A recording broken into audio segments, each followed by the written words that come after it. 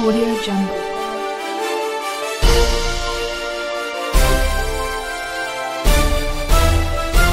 Audio Jungle.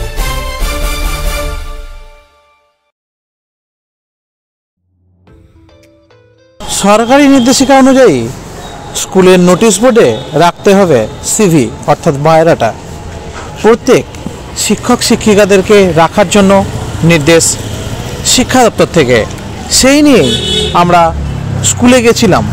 এবং কার কি বিষয়, কার কি মন্তব্য যদিও ব্যক্তিগত, সেই বিষয়ে তুলে ধরছি আমরা।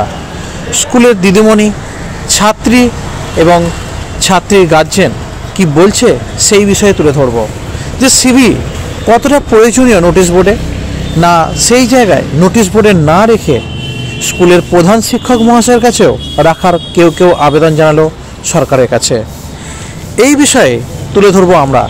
যেখানে সিভিতে জানাচ্ছেন যে একটা বায়োডাটা মানে একটা সম্পূর্ণ পার্সোনাল ডিটেলস থাকছে।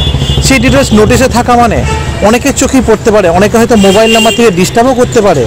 এরকমটাও অনেক সময় তথ্য উঠে এসেছে আমাদের পর্দায়। আমরা দেখাবো সেই তথ্যগুলো। সঙ্গে থাকুন। এবার দেখাবো স্কুল ছাত্রীর অভিভাবিকা কি বলছেন সেই বিষয়ে। তো আমার মনে হয় যে সিভিটা নোটিশ বোর্ডে না রেখে ওটা প্রধান শিক্ষকের কাছেই রাখা উচিত। কারণ সিভিটা যে যার পার্সোনাল ডিটেলস থাকে তো ওটা বোর্ডে রাখার কোনো দরকার নেই। তো পার্সোনাল প্রধান শিক্ষকের কাছে রাখলেই তো আমরা জানতে পারব বা দেখতে পাবো। তো- তো এটা আমি আমার ব্যক্তিগত মতামত হিসেবে কথাটা বললাম। আমি এই স্কুলেরই রিঙ্কিতা শান্তি ওনার মা। আমার মেয়ে এই স্কুলেই পড়ে। আপনার নাম? নাম সঞ্চিতা শান্তি খানাকুল গুরুকুল মডেল স্কুলে অ্যাসিস্ট্যান্ট টিচার।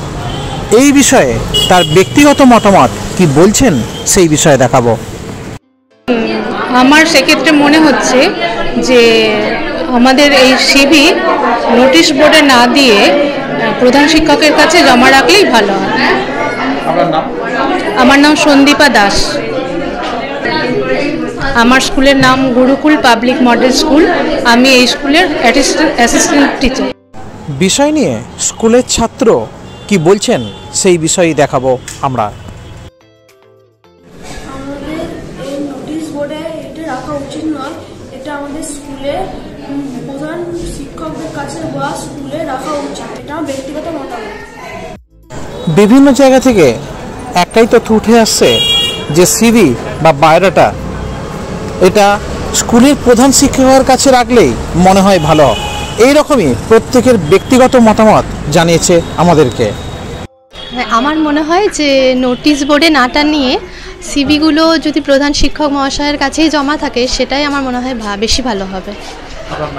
আমার নাম রিয়া বটব্যাল।